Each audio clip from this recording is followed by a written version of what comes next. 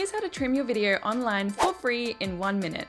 Start by heading over to clipchamp.com where you can create a free account and then once you're logged in, you're taken straight to the homepage. Now you'll head over here and hit create a video and then you'll be taken inside the editor where you can get creating. The first thing you'll need to do is upload the media that you want to trim by heading over here to the plus button, clicking on browse files or uploading them through one of our integrations here, selecting the media and then hitting open. It will then load into your media library like this and you'll simply drag and drop it straight into your timeline. Next, you'll click on the clip in your timeline that you want to cut and it will highlight in green when selected. Then to trim, drag the green sidebars of the clip left or right to trim the video.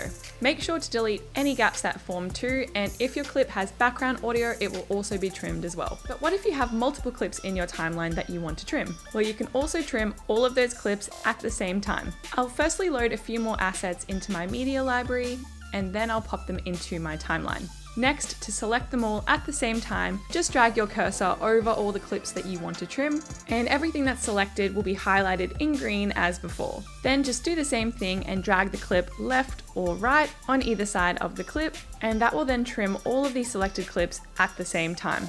Our trimming feature works on every single asset in your timeline, not just video. So if you're wanting to trim audio, GIFs, stickers, text, or backgrounds, we've got you covered.